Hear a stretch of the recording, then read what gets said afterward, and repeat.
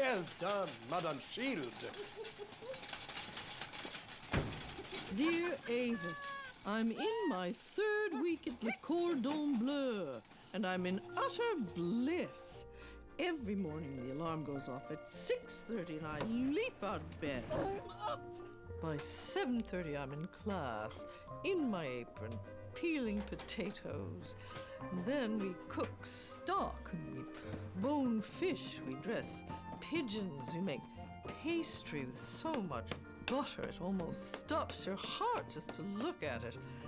My teacher moves so quickly I'm sometimes lost, but I'm way ahead of the others in the class, all of them men, and all of them very unfriendly until they discovered I was fearless, something I realized about the same time they did.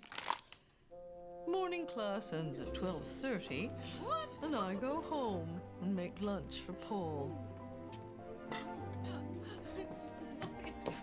Then Paul takes a nap. And later in the afternoon, he goes back to the embassy and I go back to school.